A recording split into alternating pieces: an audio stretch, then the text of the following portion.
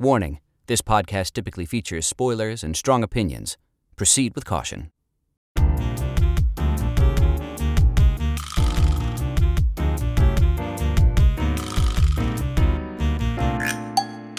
Hello there, and welcome to episode one of Then a Moment, uh, the podcast where an audiobook narrator and a childhood development expert talk about stories.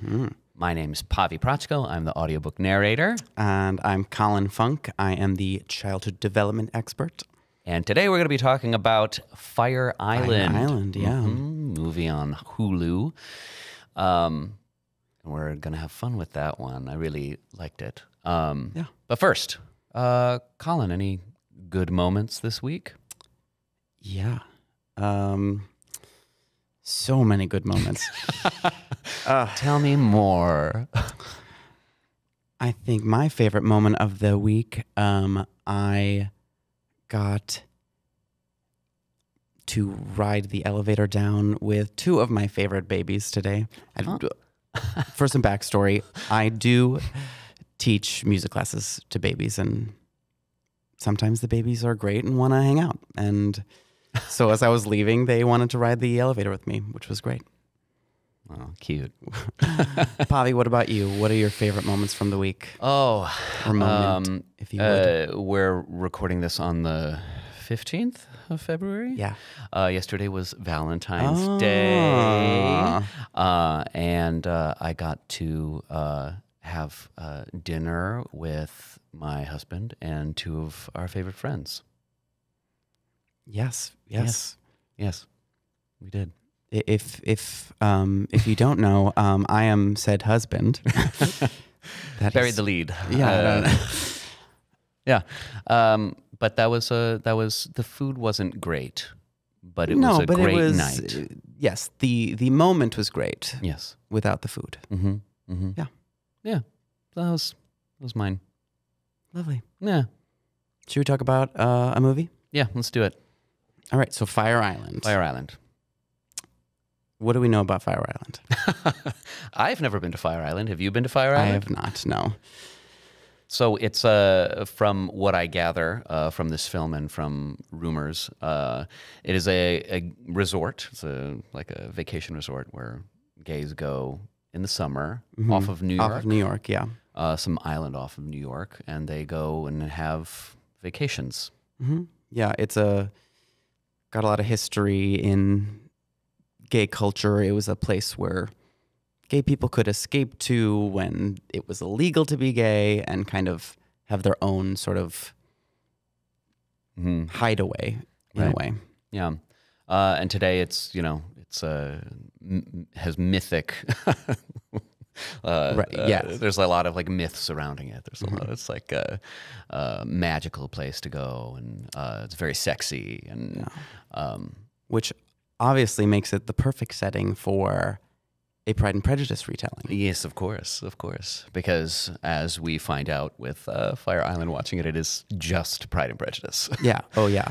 So, Fire Island, the movie, is um, produced and starring Joel Kim Booster. mm-hmm. Um, and he apparently was vacationing on Fire Island and always reads Pride and Prejudice while he's there. And So weird. seems like a strange choice, yeah, but really weird. while he was reading it, it clicked that, you know, this could be. Why, why not Pride and Prejudice here? Yeah, I th- actually think that's really interesting. I, I have my Shine Bright uh, journal uh, where I've taken my notes about this. I'll open that up. Uh, forgive the, the bumpies. Um, boop, boop. Um, before we get into that, you know Joel Kim Booster personally. Yes, yes. I went to college. Um, we both went to Millikin University for theater, Mm. and um, you know haven't you know kept in touch because he you know became famous and Sure. now is starring in movies. Yeah, I I think a lot of that even comes through. Like, there's some characters there that are, you know, washed up former actors or Oh, musical yeah. theater majors in there. The uh, Luke and Keegan, and I Mhm. think they, he, those are people he knows Yeah, for you, sure. You, know? definitely see the the the theater student influences for sure. Yeah, and what what gay theater student doesn't love Jane Austen? You know, True, true. Um, but I thought it was actually it's a really good setting for kind of this like Edwardian English um, story of propriety, uh, and kind of transferring that to gay culture in like 2022.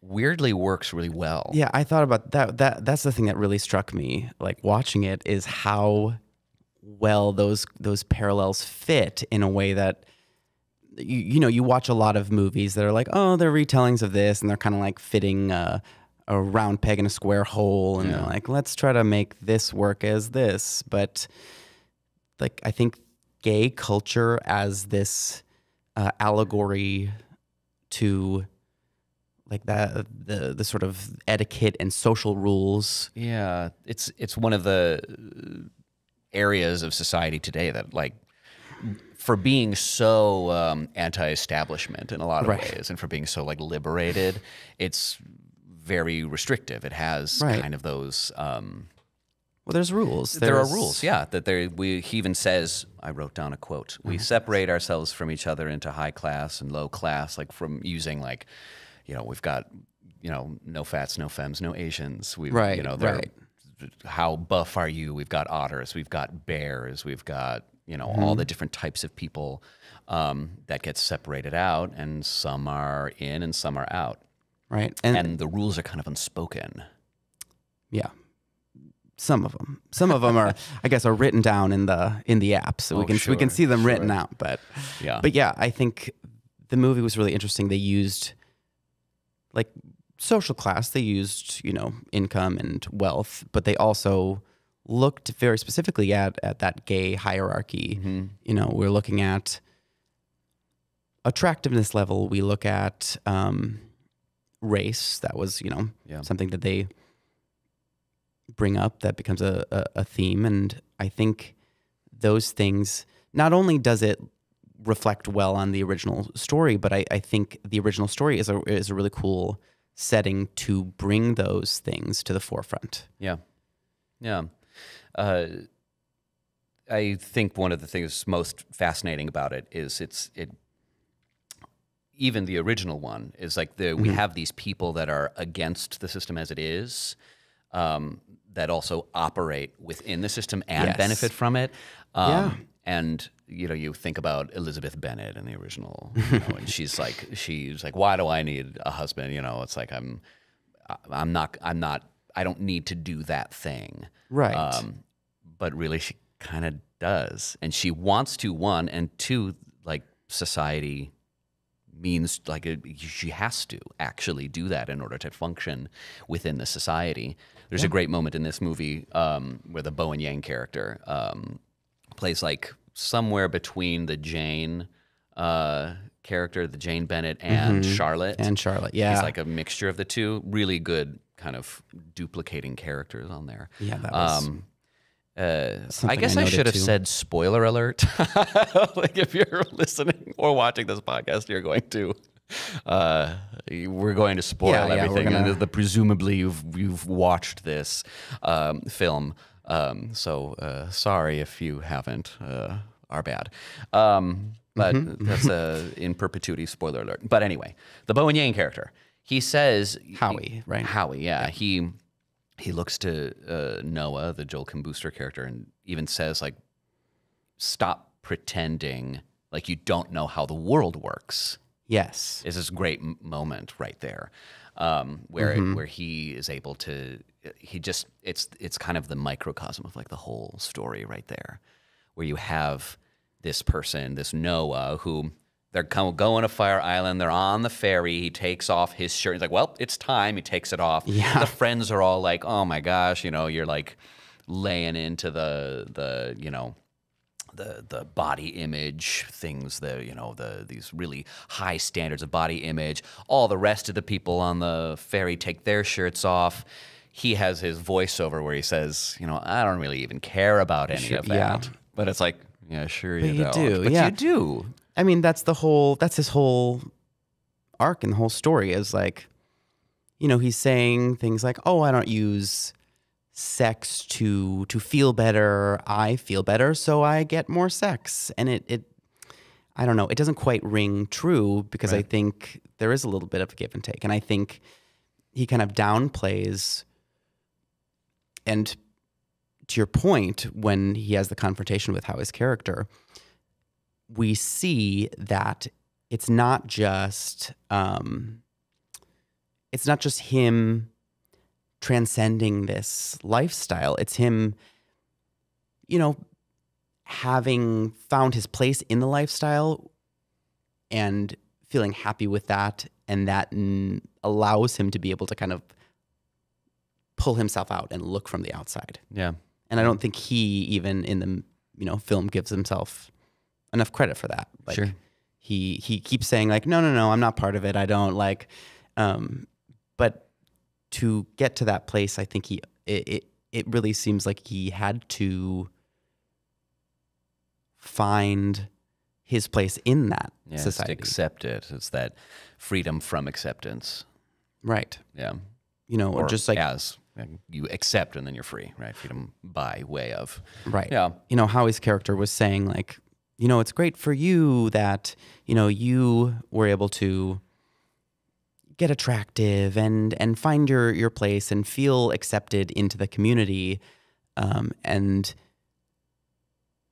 I don't think, you know, the Noah character sees that, sees that that's part of why he has this kind of superpower to to, Yeah. to live outside of it. Yeah, to protect himself, inoculate himself from that vulnerability. Right. That they talk about that a lot too. where It's Yeah. you know, you're protecting yourself, and he even tells Howie, "You got to protect yourself. Don't be so vulnerable." And in the end, Howie's like, "But I want to. I want Right. that actually."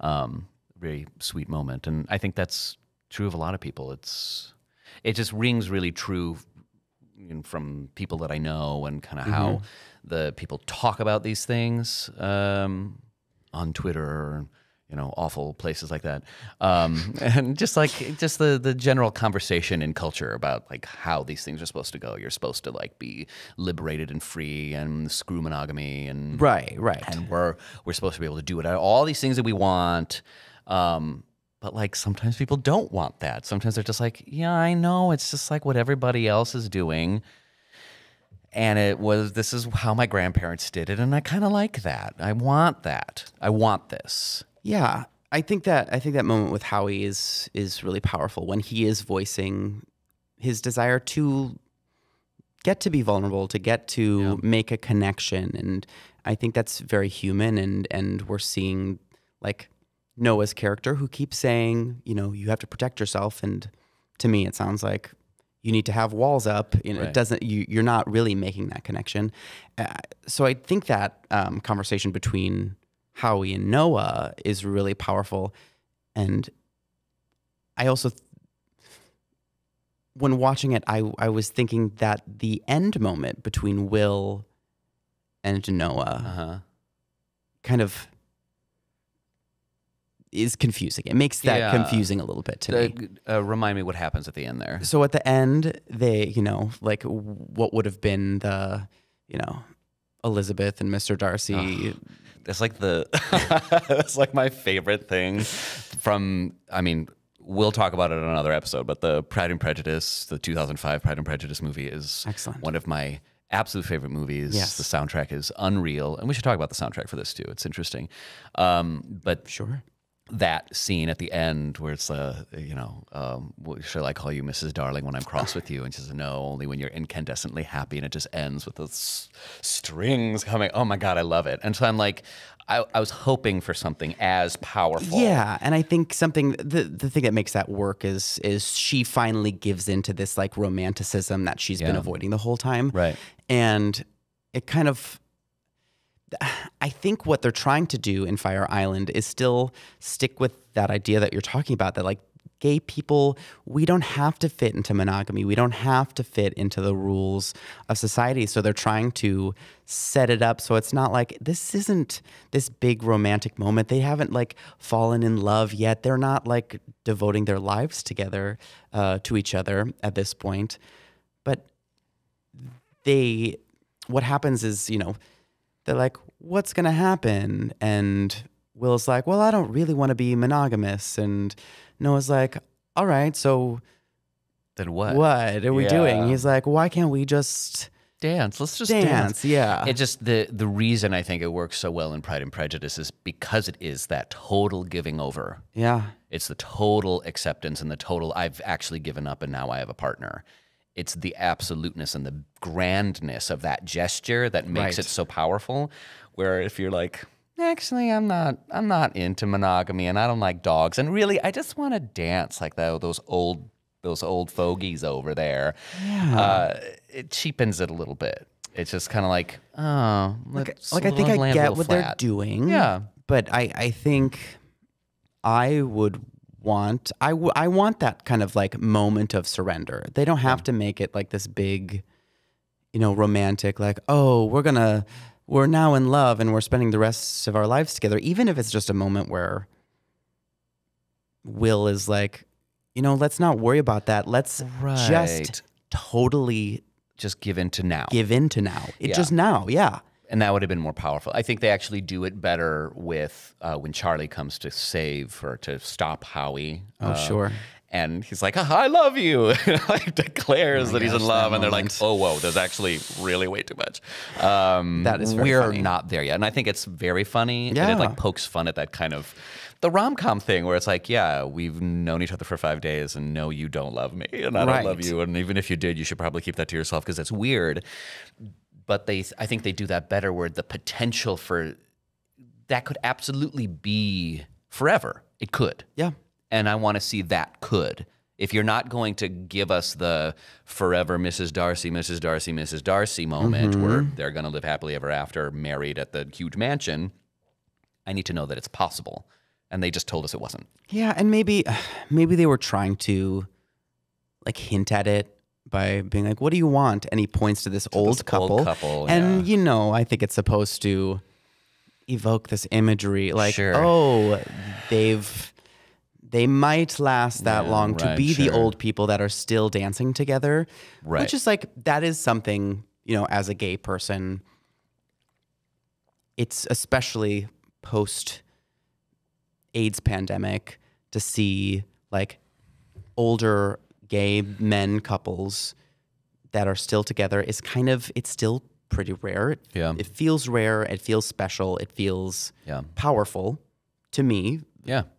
Um, but I think th- maybe that kind of imagery is is they're they're they're kind of leaning on that to do the work Right. in that moment Yeah.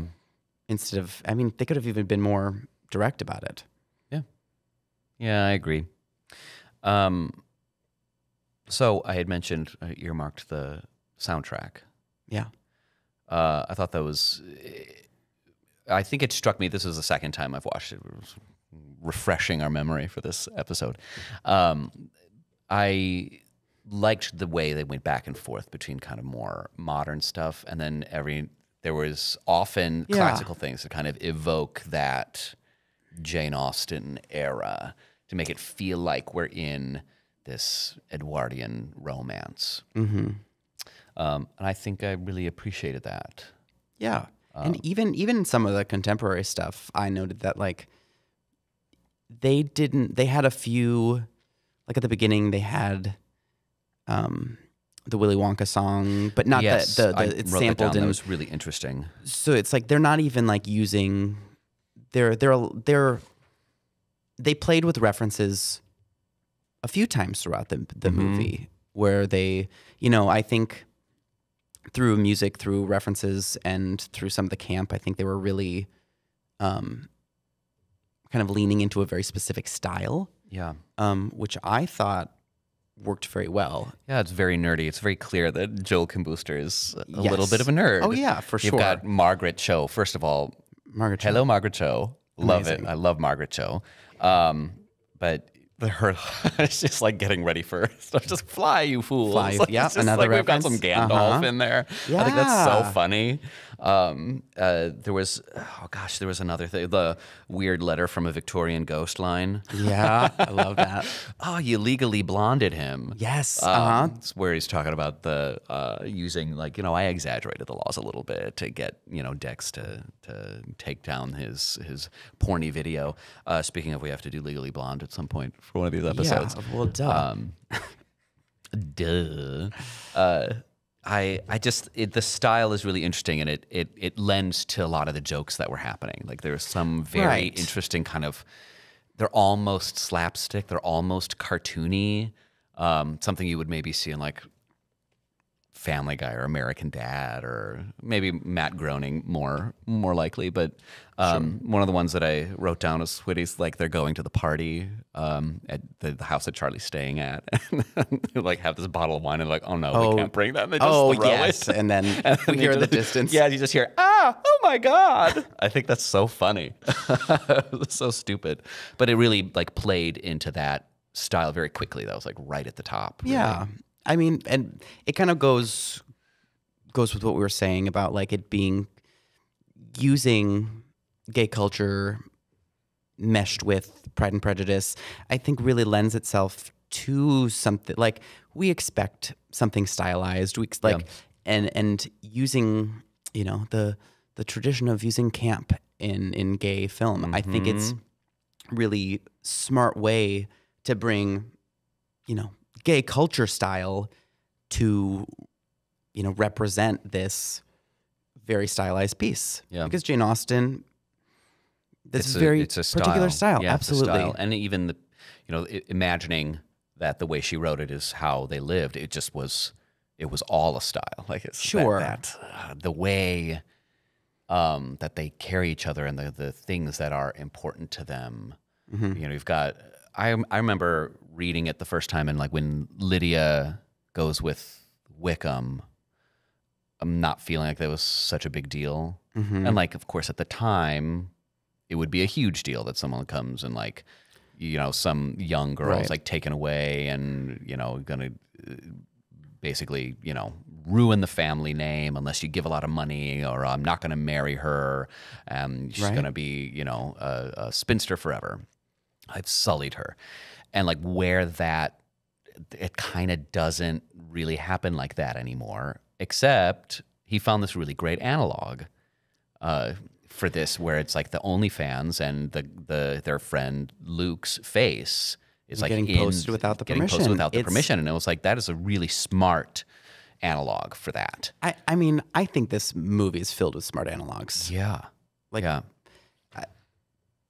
that that moment particularly that whole relationship the way that that works the i think the family dynamic i think that's brilliant i think using um, Mm-hmm. That- the gay I- idea of like a found family Yes, as like the down. family base is so It's smart such a good idea. Yeah, there's a lot of that language that we hear about, like your chosen family, chosen family. He's got this Yes. makeshift family, and they fill those roles, and they're all a little bit much, and and um, I think that's so smart. It was so smart.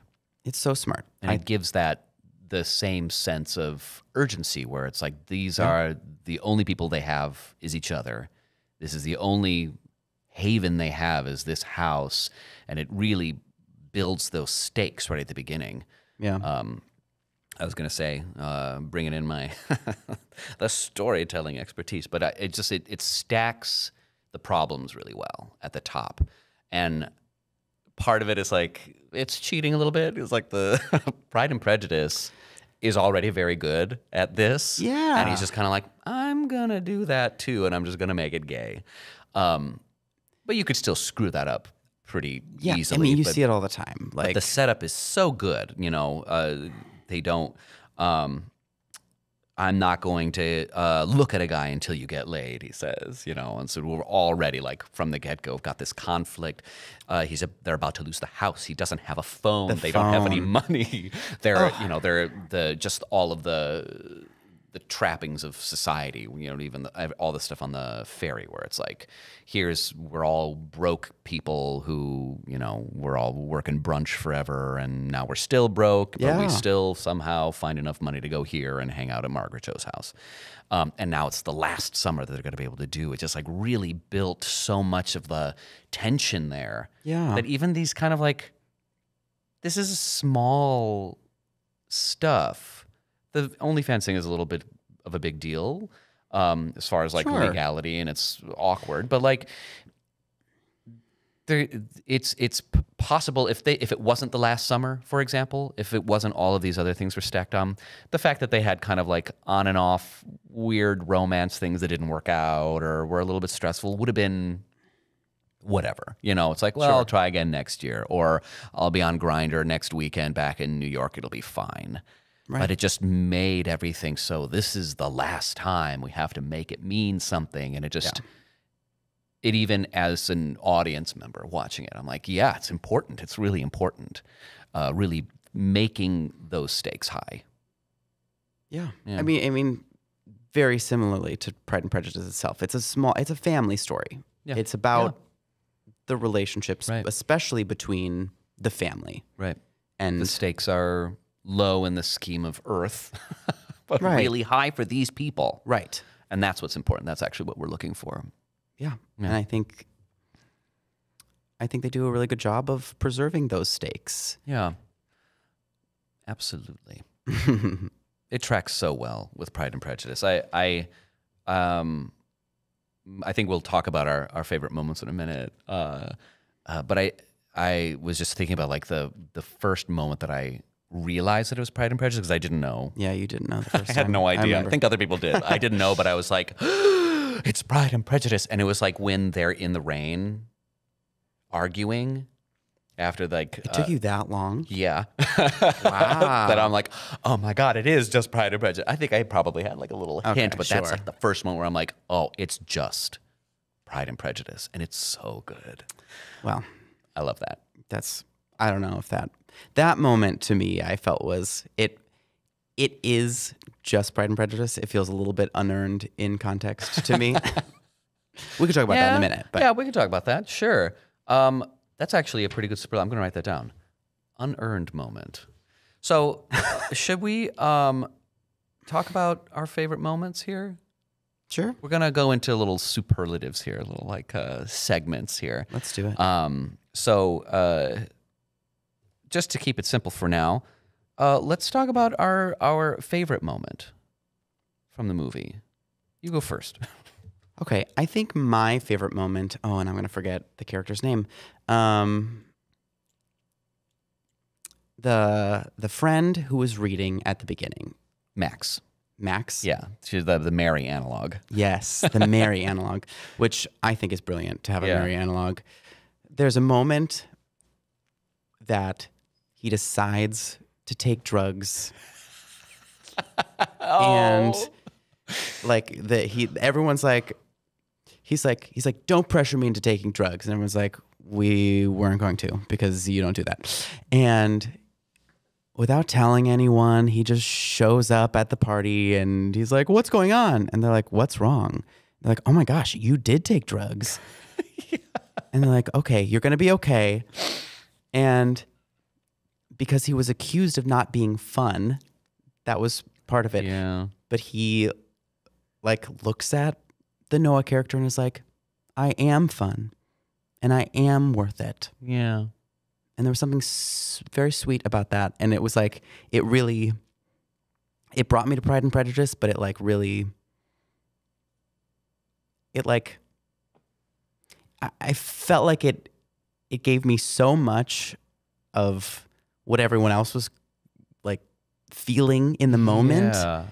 and he was like that's that's what's happening right now Mm-hmm. and this is all my feelings right now and everyone around is like kind of chaotic and crazy and kind of dealing with a lot of those things and it's like this perfect little like moment of human vulnerability that we get to see from this like side character Yeah. and i think it you know just like pride and prejudice in the way it kind of like folds those little side stories in and weaves them in in a way that that you know don't just build the world, but like really round everything and everyone out. I think it was just really nice. Yeah, it's really artfully fulfilling that character arc for this character that you think could just be throwaway. Right. And it not only does it fulfill that individual character's arc where we actually get to see this little story happen for Max, Mm-hmm. but we also get to use Max as that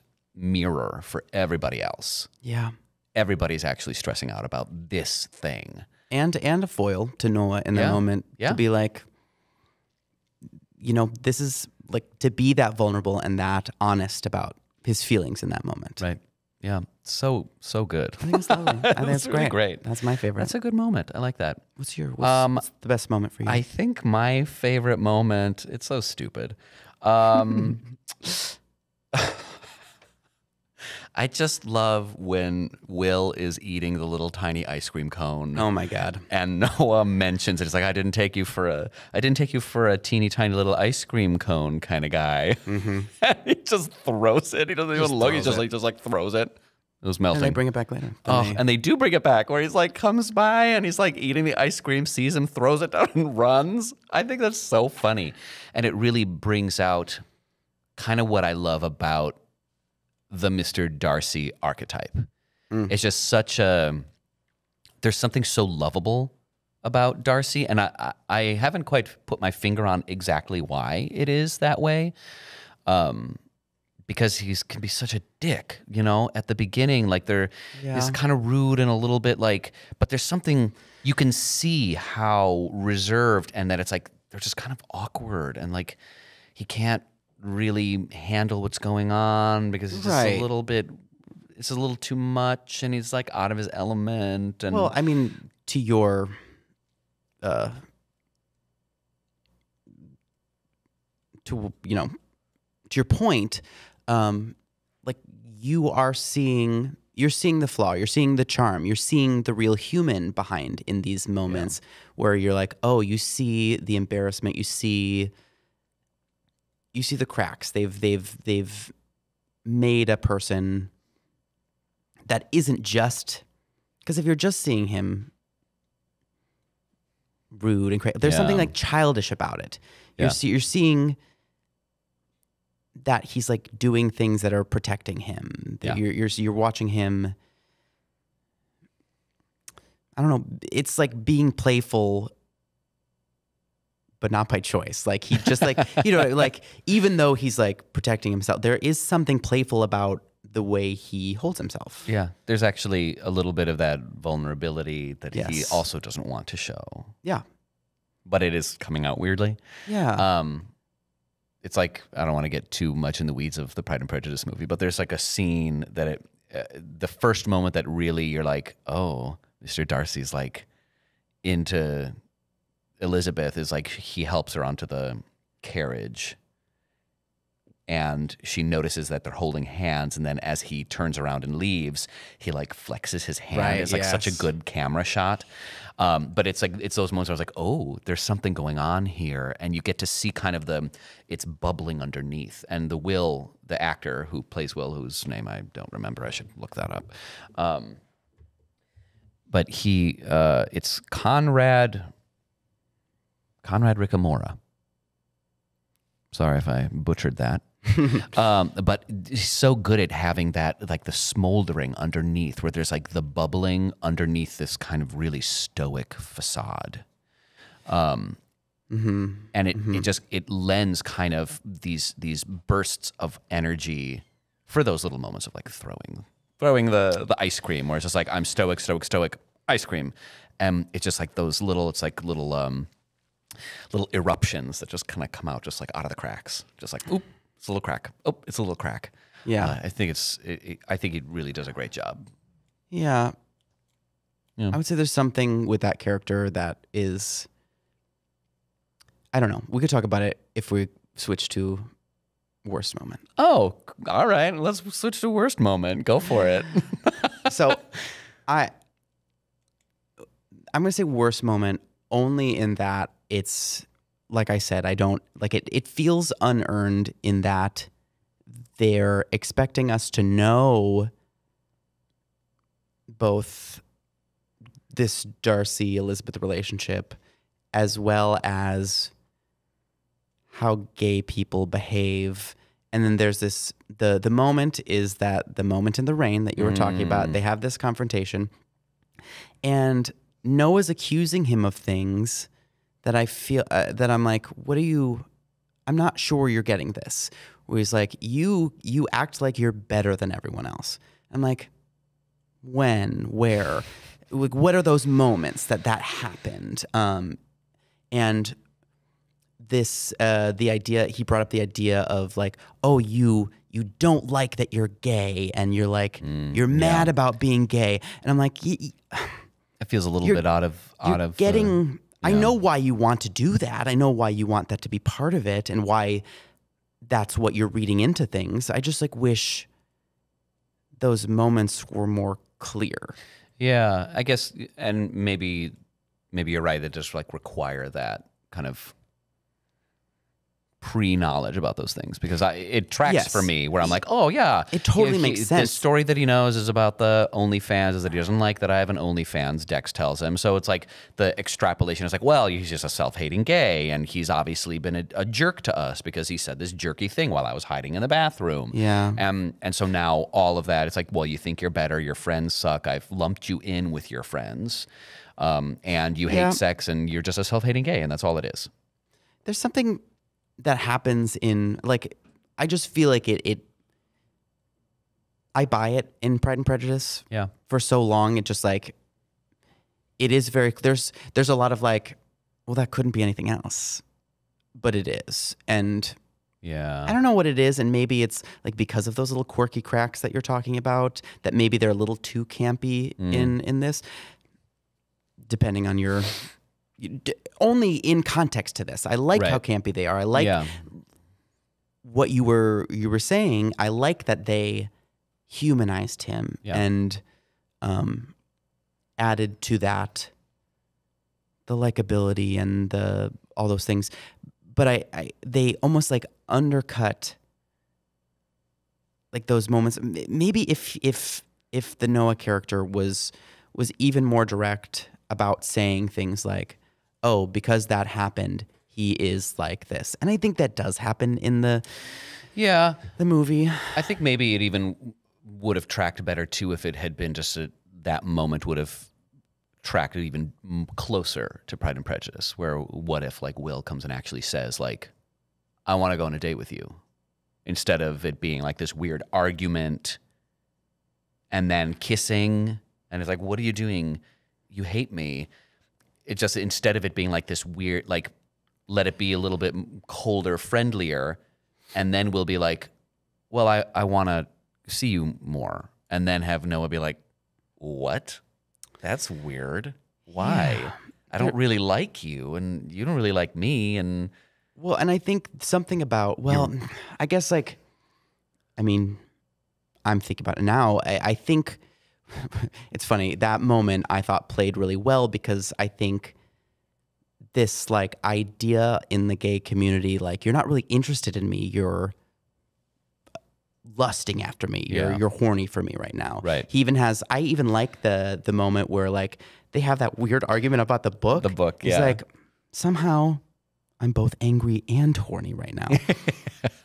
and I think that's hilarious. And I think like that is a really interesting parallel to this like, well, he's not really interested in me. He just thinks that I might be a good match. Like this like society thing. This Yeah. you know, I think that's that's an interesting play. I just think there's something I don't know. yeah, and it might even be uh, attached to the in Pride and Prejudice. It's Darcy who actually is the cause for Bingley to leave Jane, That's true. That is true. and in this case, it's not. Yeah, that's Will's not involved, and that would be the that might be why it's kind of like disconnected because that Right. would be why Noah would be angry, be like, "You ruined that," yeah. um, and so that's why I hate you. I can make up all this stuff about it, but it's really just about this thing that you ruined Howie's thing, and that could have been the better Right. angle. It's like, no, I'm not going to kiss you. You ruined this thing. Why would you think that I would ever want to be with you? You ruined this potential match for my friend on his last Fire Island. Yeah. Screw you. I think if I think you're right that it leaves out something that is like a very direct. This is like this is what he did, and this is what I can't forgive. Right, right. And it was just a little too unrelated. Yeah. It was not related. I don't, I don't know. The, only way it was related was when Will is like talking about like, well, uh, anything I said or did was to help Charlie. I was just yeah, thinking about. Charlie, but he never actually was the one that was like, "Come on, Reese, come back here." It was all Cooper. Cooper's the one that like did all of it.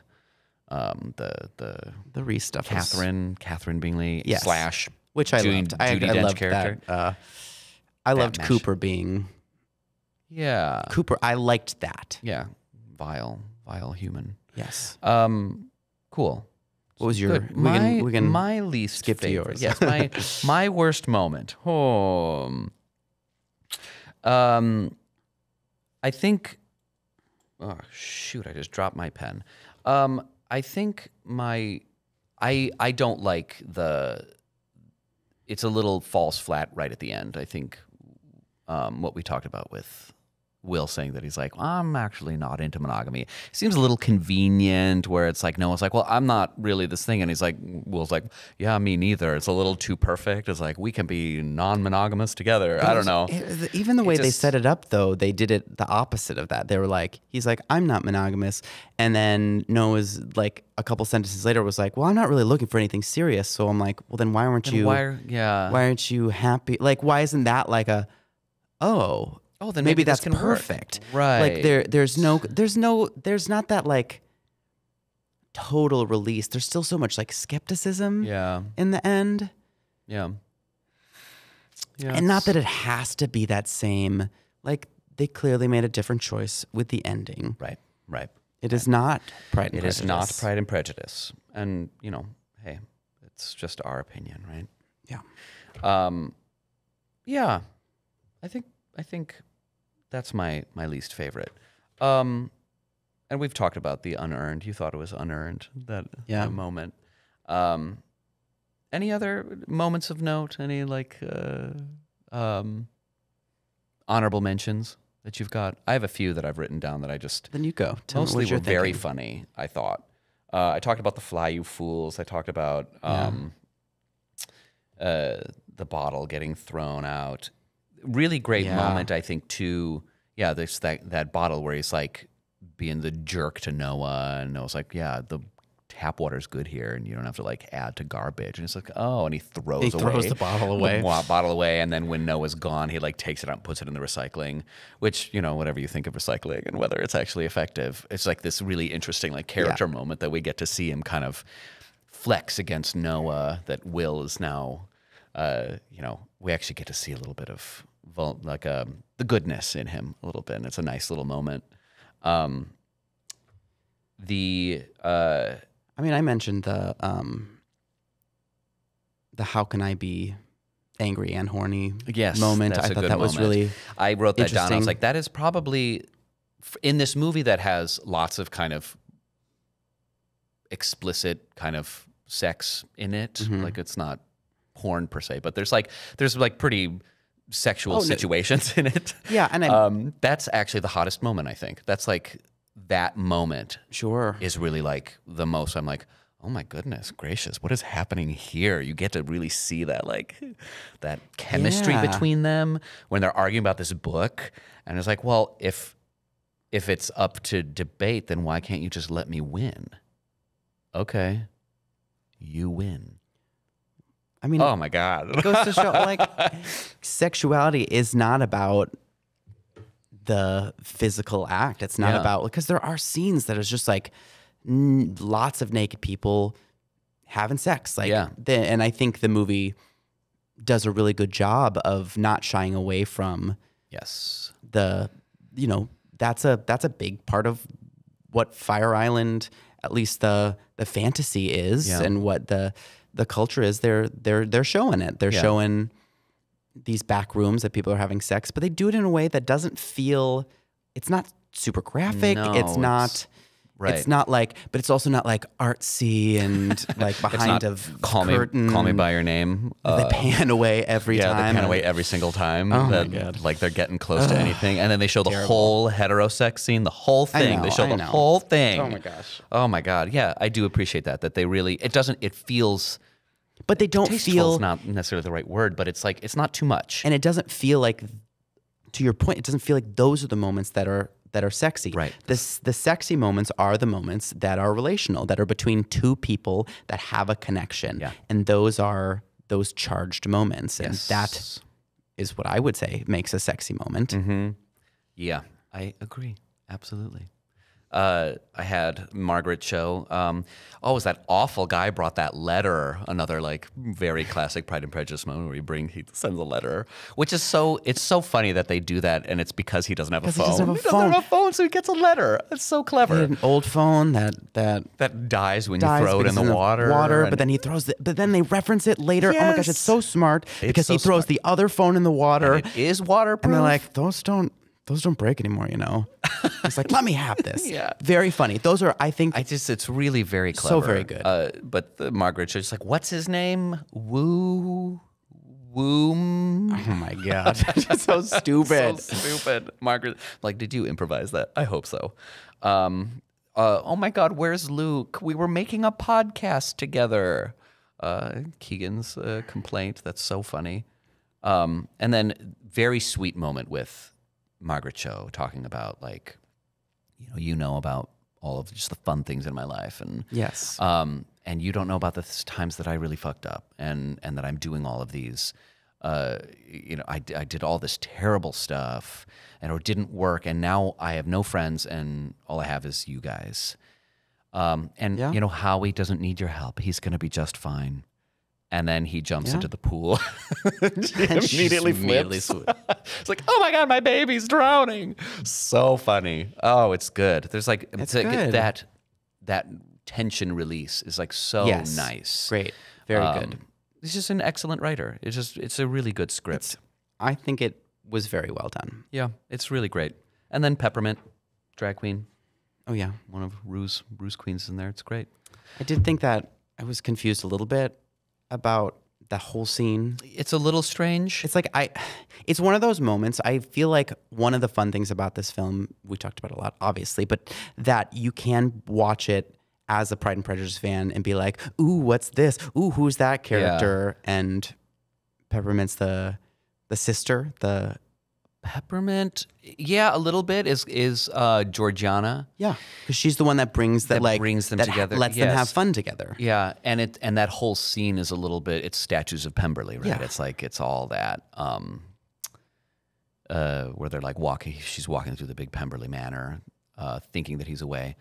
Um, it's also just a little strange that uh, I seem to remember that in maybe I'm mixing up the timeline here chronology, but there's like a lot of stress happening in the film, where they're like looking for people and people are missing, and then suddenly he and Will are just hanging out at the beach, Yes, reading uh-huh. books. I, did, I wrote that. and I'm I like, just wrote then beach I question was mark. like, why are you just? You're like, we're gonna take a break from searching for my friend who's somewhere. Because they he got that letter Yeah, and then he confronts him about it and then will was like i have th- this is really important i have to show you his instagram and then nothing about the instagram yeah. it's not anything- important, really. Yeah, it's a little cryptic. Like you should have just said he films people and p- puts them on his OnlyFans without permission. if that's what he means If that's what he means, why didn't I- you just say that? the- it's unclear that Yeah. that was kind of like the the moment i'm like are you is that him like badly hinting at it like are you afraid to say it i'm not sure yeah, it's a it was it's a little strange. Um, but it's nice to see Peppermint getting work. sure I like Peppermint. Uh, that is a weird part of the movie, just to like give them some relationship, and it just doesn't kind of like fit right in there. Um, but there's another really great moment when Charlie comes um, with Charlie and Will come. They're like, "Oh my God, are we too late? Howie's left. Are we too late? What's going on? What do I do?" And then they like interrupt the conversation, and Noah just looks at Howie and says, "Hey."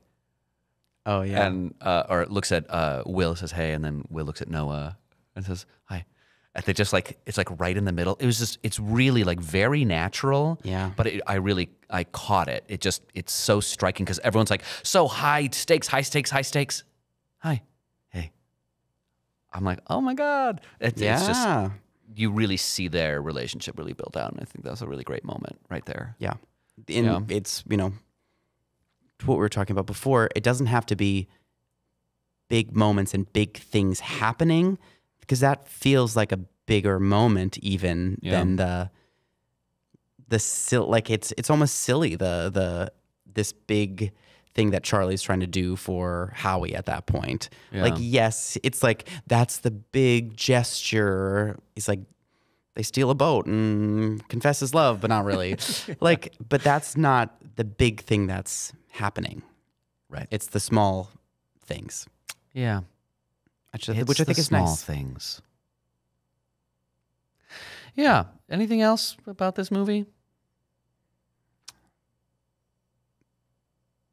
No, I guess. We talked about it all. We've talked about everything. I'm sure there's more. I don't know. I think that's it. We've done it. We've done it. We've done it. We've cracked it. We cracked the code. All right. Well, thank you, everyone, for watching and for listening. Uh, thank you. I, I think we're going to be done. Sounds good. Okay, great. I'm Pavi, And I'm Colin. and this is Then a Moment. Thanks. See you again next time. Thanks for listening to this episode of Then a Moment, a Pavitas production project, hosted by Colin Funk and Pavi Proczko. This podcast is produced by Chicago Podcast Studio. Our opening cartoon was created by Gloriou, and our theme song was composed by me, Pavi Proczko. If you enjoyed this episode, please subscribe to our podcast on Apple Podcasts, Spotify, or your favorite listening platform. You can also follow us on Facebook, Instagram, YouTube, and TikTok at Then a Moment Pod, all one word, for updates on new episodes and behind the scenes content. If you have any feedback, comments, concerns, or kudos, you can email us at thenamomentpod at gmail.com. Please rate and review us wherever you can, it would help us out a bunch. Thanks again for listening, and we'll see you next time.